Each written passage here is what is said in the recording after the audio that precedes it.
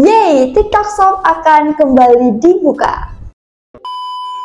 Halo teman-teman, balik lagi di channel aku. Oke, pada kesempatan kali ini aku akan membahas mengenai TikTok. Ya teman-teman, uh, kayaknya lama banget kita nggak tegur sapa. Lama banget juga kayaknya aku nggak ngebuat video dan upload video di YouTube.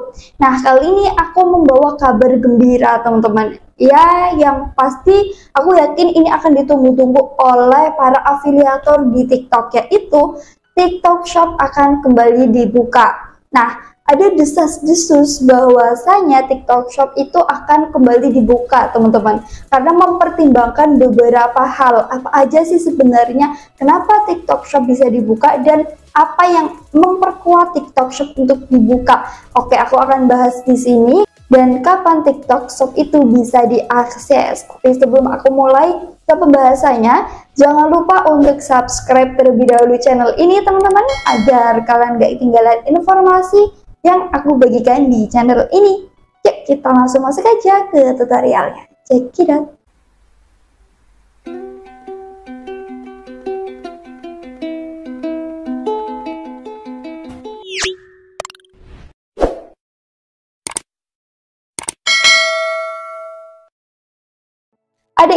Informasi bahwasanya TikTok Shop itu dibuka. Nah, desas-desus ini aku dapetin dan aku baca dan aku lihat ya di beberapa video dan di beberapa artikel.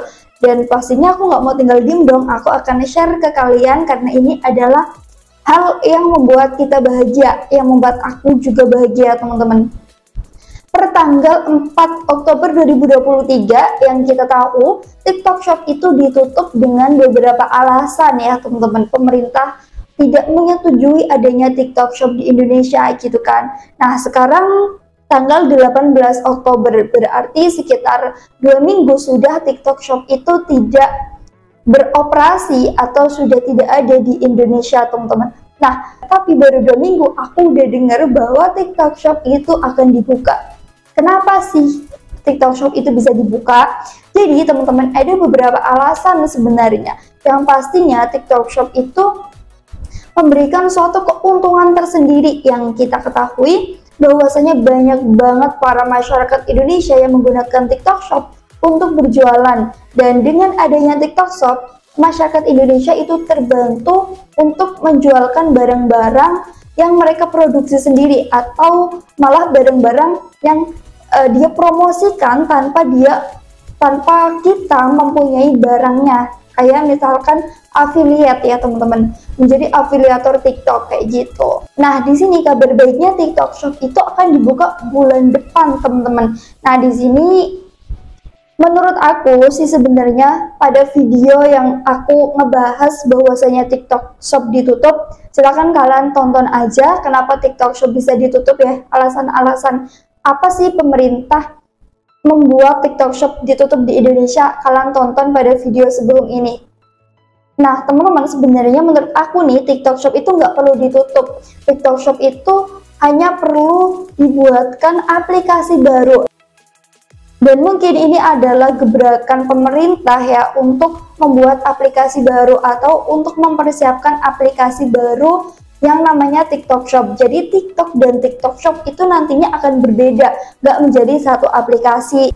Dan nanti TikTok dan TikTok Shop akan menjadi satu aplikasi yang berbeda dan berbeda juga fungsinya gitu. Sebenarnya teman-teman kalau dipikir-pikir nih TikTok Shop itu sudah memberikan keuntungan yang amat sangat banyak yang udah aku jelasin di depan yaitu untuk masyarakatnya sendiri yang mana penjualan dari masyarakat, penghasilan dari masyarakat itu udah semakin meningkat, udah semakin bagus kayak gitu ya teman-teman karena dengan adanya TikTok Shop semua kegiatan jual dan beli itu mudah banget dilakukan, bisa dilakukan kapan pun, di mana pun, dan oleh siapa pun.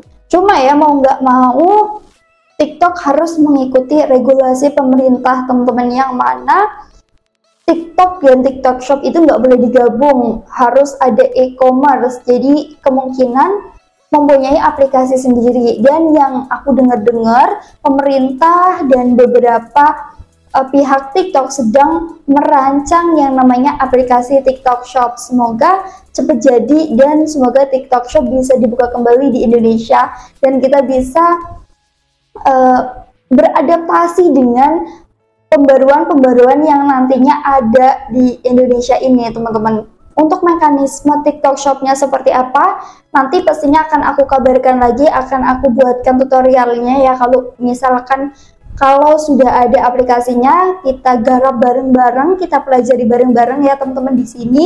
Dan kemungkinan sih kayak Shopee affiliate ya. Kalau misalkan kalian tahu nih Shopee affiliate, Shopee affiliate itu bisa dipromosikan di platform mana aja lah. Nah, di situ contohnya link ya. Di Instagram ini banyak banget orang yang menautkan link Shopee affiliate di deskripsi di profil di situ kalau kita klik itu akan langsung muncul di bagian Shopee diarahkan ke Shopee nah mungkin untuk TikTok Shop nanti seperti itu kayak misalkan di TikTok di aplikasi TikTok kita tetap upload video kita tautkan link seperti keranjang kuning itu nah kita belinya bukan di TikToknya itu bukan langsung di keranjang kuning itu tapi pada saat kita klik keranjang kuningnya ingin membeli produknya kita langsung diarahkan ke aplikasi TikTok Shop. Mungkin bisa seperti itu teman-teman. Itu adalah kemungkinan yang paling uh, relevan yang paling mudah juga dilakukan. Oke kita tunggu aja desas-desusnya sih akan dibuka pada 10 November 2023 nah kalau kemungkinan cepet jadi itu akan lebih cepet juga di launchingkan, dikeluarkan, tapi tetap kita tunggu aja bagaimana kelanjutannya. Agar kalian gak ketinggalan informasinya kalian bisa subscribe dulu channel ini untuk jaga-jaga teman-teman. Karena setiap apa pun yang update di aplikasi TikTok intinya mengenai TikTok akan aku informasikan di channel ini. Semoga ini bermanfaat semoga membantu oleh kalian semua yang mungkin beberapa minggu ini beberapa hari ini merasa resah karena ditutupnya TikTok Shop di Indonesia. Semoga informasi yang aku sampaikan ini benar ya, benar terrealisasikan TikTok Shop itu dibuka pada bulan depan agar kita bisa menjalankan lagi, agar kita bisa menjadi afiliator di TikTok, agar kita bisa menjadi seller lagi di TikTok Shop. Oke teman-teman, sekian dan terima kasih. Semoga bermanfaat ya. Dan jangan lupa untuk subscribe, aktifkan lonceng notifikasinya juga like, dan komen. Kita diskusi bareng-bareng di kolom komentar. Dan jangan lupa untuk share ke teman-teman kalian agar mereka juga tahu informasi mengenai ini. Oke teman-teman, see you. Sampai jumpa di video selanjutnya.